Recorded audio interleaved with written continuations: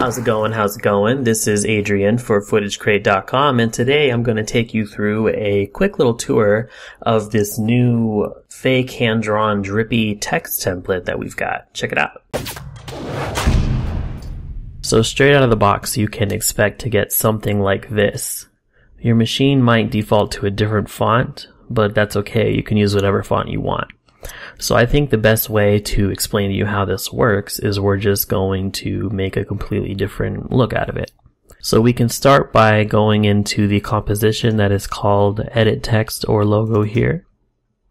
And we'll just type something else. And the thing that you type doesn't have to be true. The machine does not know. We'll just change the font to something else. There we go.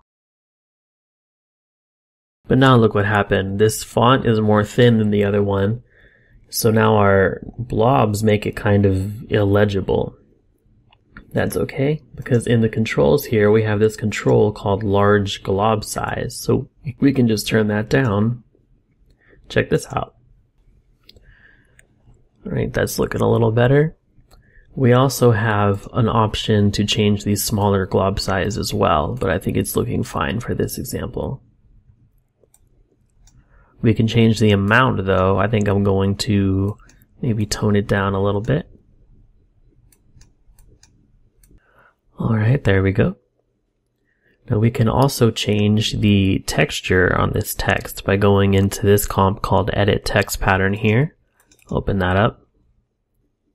And in this one you can pretty much do whatever you want. You can import a video or something if you want as well, it doesn't matter. So I think I'm going to make a new solid, like a bluish green color. Maybe make another one that's like more of a white. It's not as big. Just kind of make some spots. And as you can see, that is updated in our main composition. So now I think I want to change the color of this outline. So we can do that. We have this parameter here called text outline color. You can just change that and just pick whatever you want. And you can change the color of the shadow and the outline of the shadow as well. And we also have this slider here to change the outline thickness. Make it pretty thick. I'm not really into that look, but you may be. If you make it thinner, you get kind of more sketchy, like pencily look. That's interesting. Alright, and then we have the background. So there's this comp called edit background here. Again, you put whatever you want. Maybe I'll just make a new, oh, like an orange solid. Maybe just add like some dark stripes to it. Whatever. I don't know if this is going to look good. And again, you can animate this composition. You can import a video if you want. Whatever. Just do whatever you want. Put whatever you want in here. And it will update. And there we go. You can see everything's working like it's supposed to.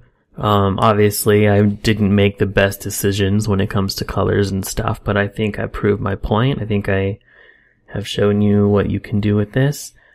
Some other options we have that I didn't really touch on are this slider here to change the frame rate. So I have it set at 12 by default because that's a good like cartoony frame rate. But if you want it smoother, you can bring it up to 24 if you like, whatever you choose. And then this random seed slider, that's for the particles. This effect uses particular to work, and sometimes when you change the parameters in particular, the particles don't update. So if you notice that your particles don't look right, or if they pop or anything, just change this random seed and that'll fix it for you. You can also change it if you you just want to see a variation on the look. That's fine too. But anyway, I think that about concludes this uh, tour of the project file. So I hope you download it. I hope you play with it a little bit and I hope you find it useful.